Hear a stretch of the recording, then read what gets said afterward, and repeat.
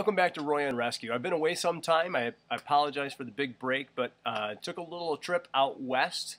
I'm in hope to incorporate some of the things that I discovered out west into some of the up-and-coming Roy on rescues, from everything from potentially a grizzly attack, uh, grizzly bear attack that is, and how to avoid one and how to fight your, uh, defend yourself from one, all the way to other injuries that can happen in um, wild terrain. But in this Roy on rescue, we received a question from a student asking about the shot, the capillary refill test when trying to find out if a person is suffering from early signs of shock.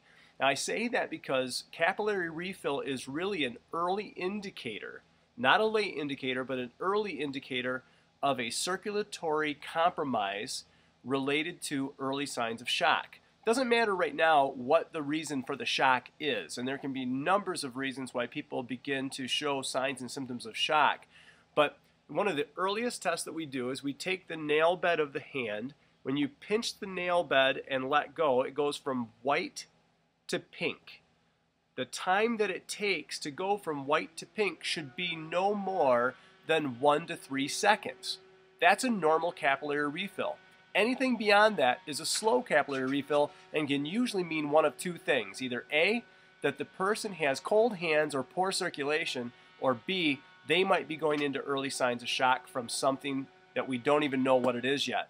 If that's the case, activate 911, always assess airway breathing circulation, check for signs of bleeding, internal or external, but make sure that you support their airway breathing and circulation. You can lay them down, elevate the legs, cover them with a sheet coat or blanket to keep them warm, and those are some of the things that you can do to help combat against shock. So I hope this was helpful. Thanks again, and we'll look forward to talking to you next time. This is Roy Shaw with Roy on Rescue. Bye-bye.